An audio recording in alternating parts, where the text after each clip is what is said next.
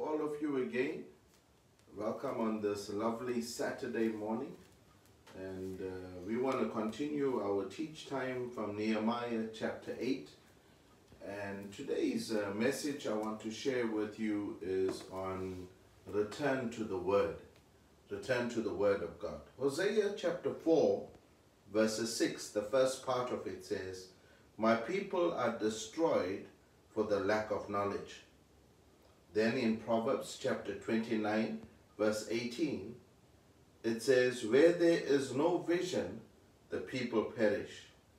But he that keepeth the law, happy is he. When we look at the book of Nehemiah chapter 8, as I read it continuously yesterday in preparation for our message today, I kept on seeing how the word of the Lord was re-established within the nation of Israel. In Nehemiah chapter 8, Nehemiah calls on Ezra, the priest, to come and read the law of the Lord. That means at that stage, the law was the word of the Lord to the people. It was referring to the law of Moses. Now, down throughout uh, the centuries, we have seen different cycles where the word of the Lord was neglected throughout the generation, and this influenced the spiritual condition of the people. Where there was a lack of the word, there became a poorer spiritual condition of the people. During the time of the Reformation, there was a move towards causing a revival around the word of the Lord. In those in the time of the Reformation, the Catholic Church focused on the priest only knowing the word and sharing the word. And so we had other reformers like John Wycliffe and William Tyndale that labored to translate the word of the Lord into common English. Martin Luther translated the Bible into German. John Calvin began to preach expository sermons. That means sermons in layman's language so that people could understand. Whenever there is a famine of the word, whenever there is a poor or neglect of the word of the Lord, the people suffer. And so today, this is our challenge. Our challenge is let's return to the word. Now in Nehemiah chapter 8, the Bible says when the people were all one and together, that Ezra started to read the law. Now I want to challenge us that there is a few things that we need to do in our returning to the word. Firstly, we have to read the word. Nehemiah chapter 8 verses 3 said, And he read therein before the street that was before the water gate from the morning until midday, before the men and the women and those that could understand, and the ears of the people were attentive unto the book of the law. Now, when I read this portion of scripture, I saw that the people of God were all standing for the reading of the word, and they stood from morning to midday, over six hours. They stood listening to the reading of the word, not even the preaching of the word, the reading of the word. That, and the Bible said that they were attentive to the book of the law. Paul instructs Timothy to give attention in church meetings to the public reading of scripture, to exhortation and teaching in 1 Timothy chapter 4 verse 13. There was something that was important that the word of God had to be read. Part of our own development and part of your own development, you have to read the word of the Lord. When you read the word of the Lord, it begins to produce faith, cause your faith to increase. In this time, in any time of crisis, in any time of self-doubt, in any time when you feel like you need to be strengthened, read the word. Now, I remember our parents continuously teaching us this when we were younger. And we often, you know, when you're young, you try to avoid every form of reading. But the reality is that the reading was not for their benefit. The reading of the word is for your benefit. And so today I want to challenge you read the word. You don't have to read large contents of the word, but read a scripture at a time, allowing the, the Lord to speak to you. But then the next thing was they have to hear the word. Nehemiah chapter 8, verses 8 says, So he read the book of the law of God distinctively and gave the sense and caused them to have understanding of the reading. Now we understand that not only reading the word is important, is hearing the word. The more we hear the word, the more our faith is built up. In Mark chapter 4, verses 9, Jesus said, Let him that have ears, let him hear the word of the Lord, what the Spirit of the Lord is saying. Now, this is very important. It seemed like it should be natural if you have ears, you can hear. But we know that is, that is far from the truth. How often have sometimes you spoken to your children and you have called them and you speak to them and says, go and do this, put your dish, your, your, your supper dishes in the sink and they have ears but they don't hear you because their focus is somewhere else. How many times have people told you things and, and or your wife spoken to you and you and you she and and in your hearing, but because you were focused elsewhere, you did not hear. And then when she asked you later, you said, "No, I didn't hear you." So having ears is not a presumption that we all are hearing.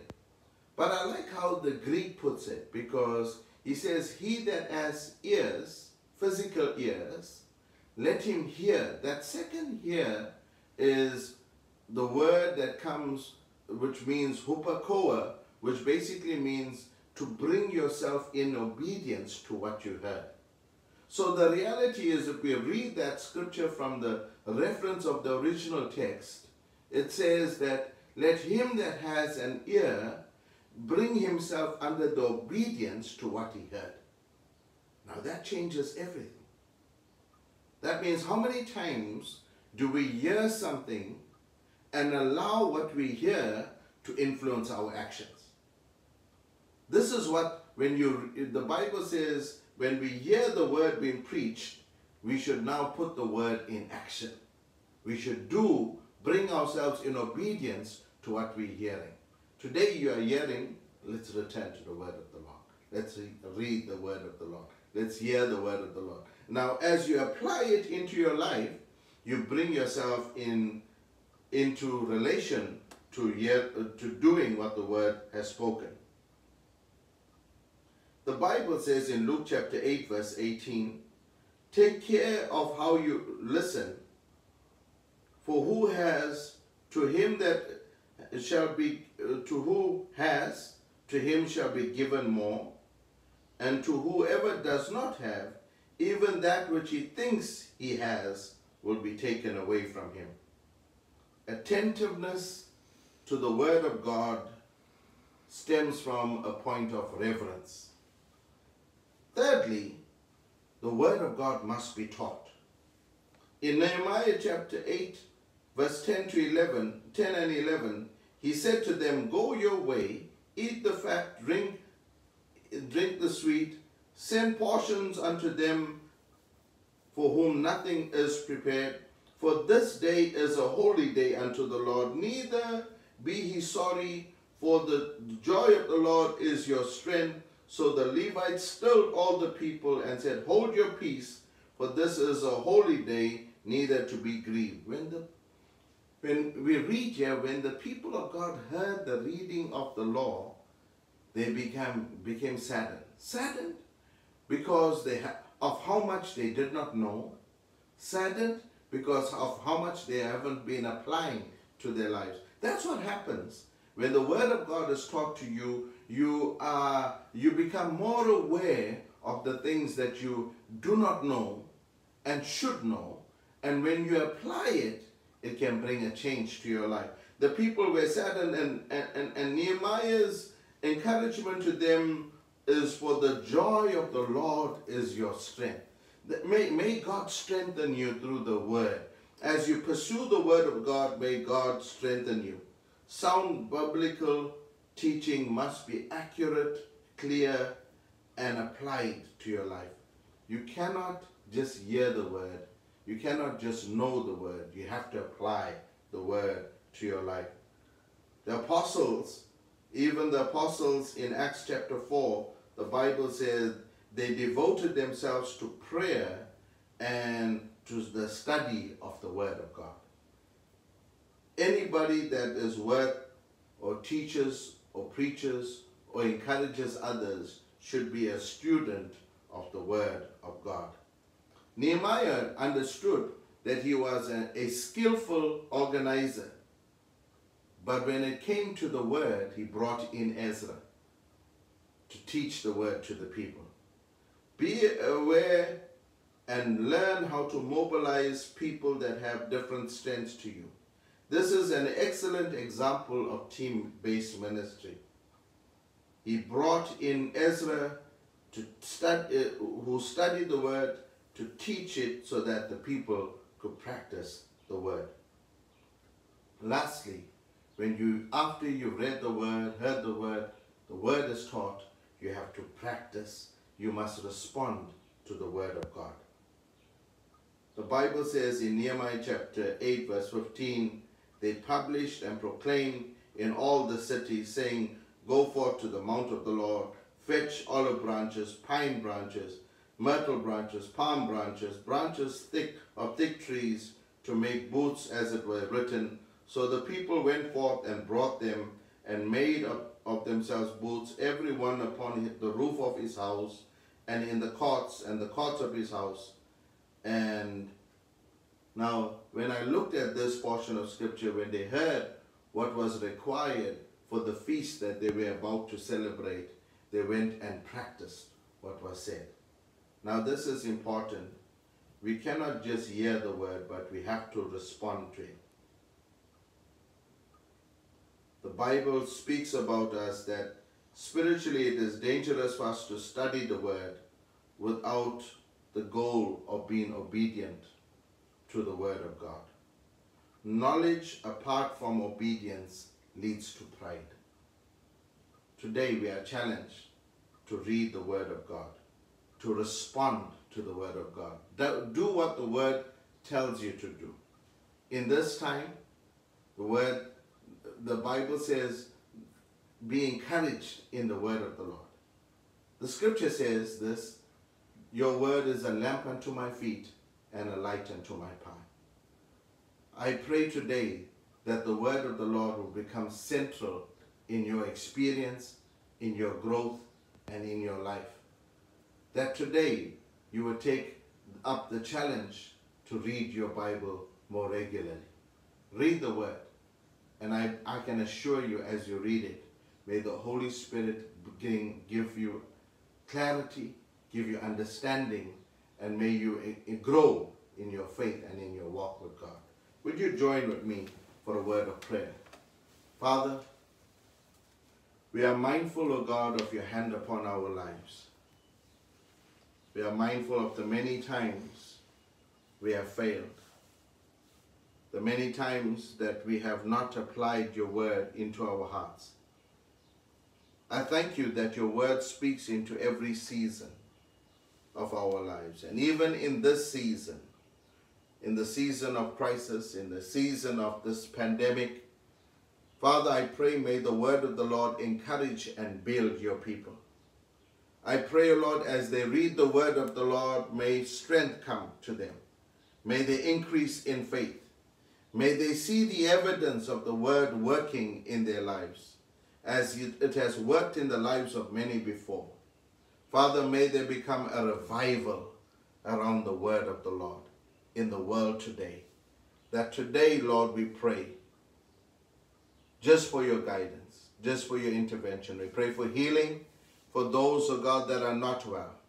We pray, oh God, for just a strong mind and a sense for those that are lonely and, and those that are struggling, oh God. I pray today that you would show up in their lives. For those that are going through economic difficulties at this time, you are Jehovah Jireh, our provider. And so today we, we ask that you would show yourself strong in the lives of your people. Bless your people, Lord. Cause them to grow in you. In Jesus' name, amen and amen. Well, we see you tomorrow morning at 9 o'clock for our time of teaching of the word and also communion. Good day and have and be blessed. Amen.